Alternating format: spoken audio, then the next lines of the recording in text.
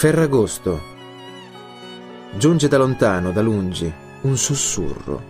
Chi è? Un barlume di luce che rischiara un poco.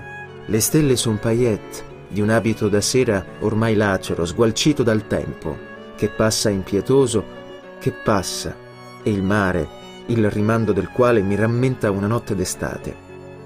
Un manto di seta nera che disvela un ferragosto ormai lontano, parole sussurrate appena in una tenda come un riparo.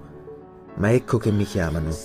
Ebbrezza e turbamento confondono i miei sensi, travolti dall'incedere frenetico dei dintorni di una notte che mi sfugge, come un mantello dalle mani, incalzato da un batticuore forsennato, atteso al varco dal domani, incerto e attonito, mi desto ebbro come un battello.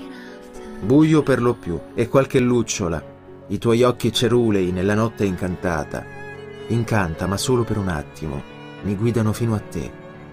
E da lontano un vociare indistinto trapela dal vestito di seta nera, dalla tenda nera, nel buio pesto e risa di bimbi euforiche, sguazzanti nell'acqua tra le onde, pioggia di stelle da un tetto malfermo.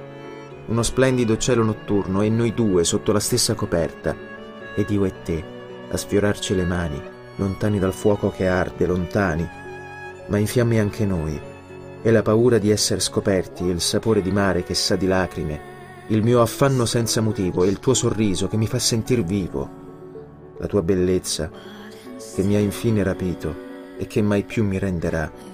Parole dette soltanto a metà, mentre interi discorsi, serrati tra le labbra come morsa, si agitano nel ciclone del mio cuore ti stringo forte tra le braccia. Hai forse freddo, amore?